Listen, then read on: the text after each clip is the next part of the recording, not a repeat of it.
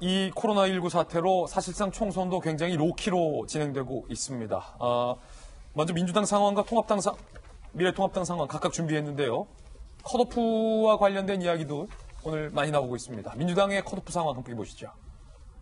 동대문 의뢰 민병두 의원을 컷오프 시켰고요.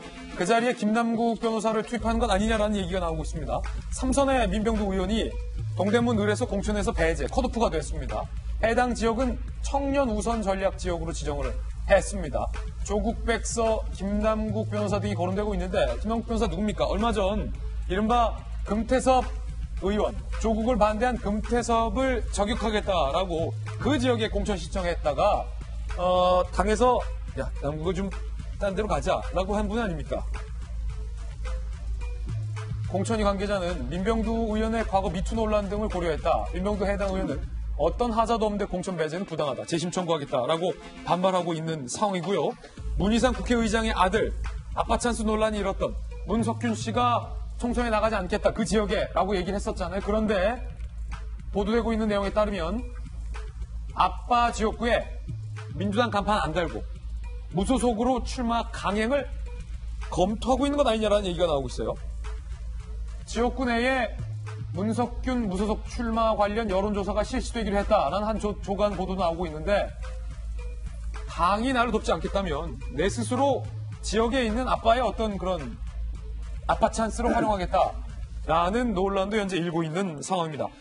특히 고승덕 의원님, 네. 문석균 씨 같은 경우는 당과 조율해서 일단 아빠 지역구에 안 나가기로 한번 어, 정리가 된 것 아닙니까? 네, 사실 그 뭐 불출마하는 게 당에 대한 뭐 도리가 될 텐데요. 어, 제가 그 대타로 공천한 분이 제가 이름은 밝히지 않겠지만 좀 상대적으로 약한 그런 공천을 한 것 같아요. 그래서? 당에서도 제가 볼 때 물밑에서 살아서 돌아오라고 하는 약간 메시지가 있을 것으로 제 개인적인 추측입니다. 개인적 추측이죠. 네, 그렇게 추측을 해보고 있습니다. 네. 그렇다면 사실상 어, 김영주 의원님 네. 논란이 됐던 건 아빠 찬스인 거잖아요. 아빠가 국회의장이에요.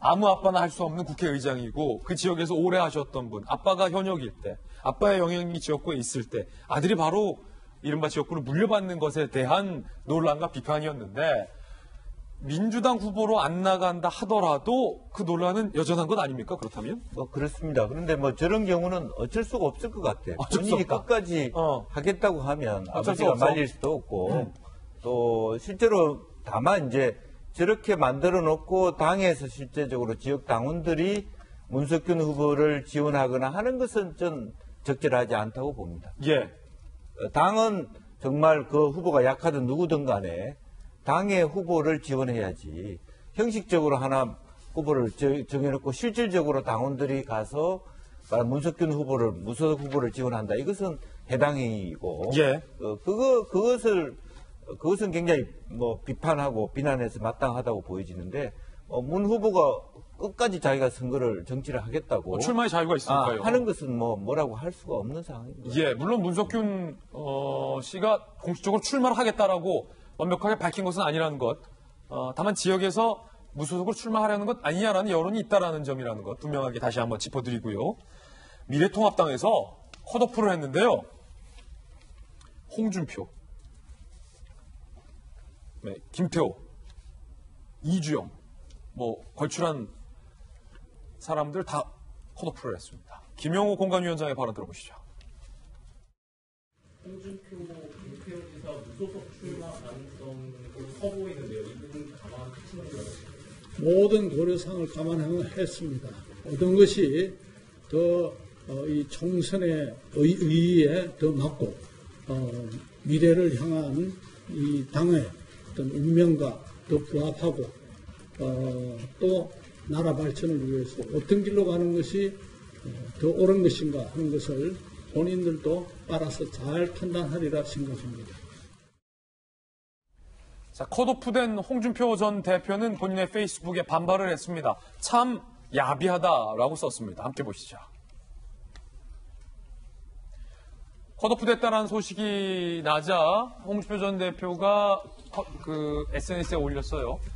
김용호가 직접 전화해서 경선하겠다고 하더니 허허 참 허허 참은 홍준표 전 대표 트레이드 마크잖아요. 허허 참 참 야비한 정치한다 라고 불쾌한 감정을 숨기지 않았고요. 김태호 전 지사는 무소속으로 나가겠다라고 지금 밝히고 있는 그런 상황입니다. 홍준표 전 대표가 지난 2월 공천 면접 후에 이렇게 밝혔던 내용이 있거든요. 컷오프 된다면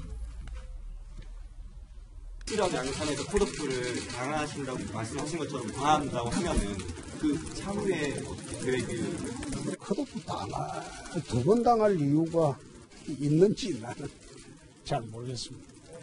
만약 컷오프를 두 번 당하면 정계 은퇴나 무소속 출마 중에 선택을 할 수밖에 없겠죠. 한강벨트 못지않게 낙동강 벨트도 중요합니다. 고승도 의원님 당에도 계시잖아요. 네, 네. 사실은 뭐 서울 지역구 못지않게 양산을도 사실 험지인데 미래통합당 후보에게는 네. 그 험지에서 컷오프를 당했어요. 홍 전 대표 주장대로 두 번 컷오프를 당한 셈이 됐는데 음. 본인께서 무소속 출마 아니면 정계 은퇴잖아. 밖에 없다라고 하셨잖아요. 음. 뭘 할까요, 도대체? 어, 이제 본인이 최종 결단을 아마 할 거고 어, 이번 페이스북에 어떻게 하겠다는 말을 안 올리는 이유도 지금 이제 고심 중에 있다고 하는 저는 그런 표로 받아들입니다. 그런데 뭐 김태호 전 지사도 그렇고 홍준표 전 대표도 그렇고 어, 아마 본인은 아직도 젊고 어떤 그 정치 인생이 많이 남을 수 있다 이런 생각을 하시기 더 쉬울 것 같아요. 네. 어, 그렇다 그러면 홍준표 대표로서는 어, 자기 고향에 다시 돌아가지고 한번 지른다거나 무소속. 네, 무소속으로. 그걸 지른다고 그럴 하는군요. 가능성이 저는 조금 더 있어 보인다고 생각하고 싶습니다. 예. 혹시 당 지도부에서 네. 아니 그러니까 서울에 나오시라고요. 음. 라고 이른바 지역구로 옮기는 사실 당 지도부가 계속 요구했던 거 서울 출마였잖아요. 네. 서울 출마로 대 뭐랄까요 반전이 일어날 가능성은 없습니까? 어, 뭐 그 가능성을 완전 배제할 수는 없을 것 같아요. 네. 지금 여러 가지 지금 분위기가 이제 뭐 보수, 뭐 대통합, 그리고 또 이제 그 여권도 어떻게 보면 이제 비례를 그 매개로 한 연대가 성사되고 있기 때문에 어떻게 보면 진영 대 진영으로 거대하게 지금 붙는 국면이거든요. 그래서 더구나 이제 코로나 이런 변수가 있기 때문에 에, 선거 때까지 만약에 여러 가지 그 변수가 한쪽으로 쏠릴 가능성도 있습니다. 그래서 옛날에 그 MB 대통령 그 당선 직후에 서울 선거할 때는 거꾸로 거의 다 그, 그 당시 한나라당이 거의 휩쓸었거든요. 예. 그런 바람도 일어날 가능성도 있기 때문에 홍준표 대표가 여러 가지 지금 변수를 가지고 고심할 것으로 생각이 됩니다. 예. 저는 그 김태우 예비 후보는 뭐 무소속 나간다 했고 지금 홍준표 어, 전 대표 같은 경우도 서운한 게 굉장히 많거든요.